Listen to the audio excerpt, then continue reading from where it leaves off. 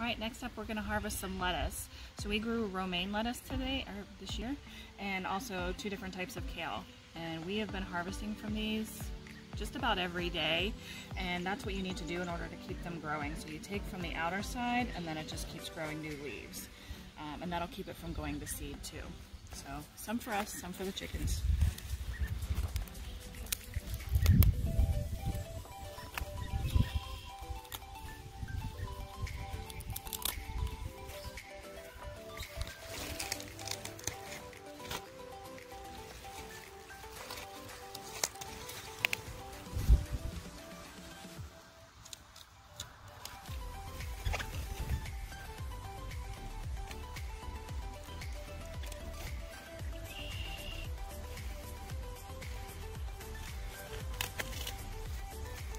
Now we're gonna um, harvest the kale.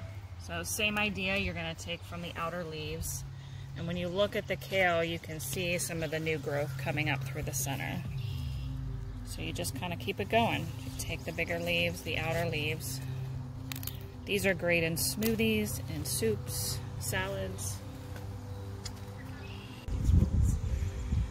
So this type here is Russian kale, so it's a little bit different in texture from the traditional kale that you'll see. People are probably more accustomed to this type of kale. This is a little bit softer of a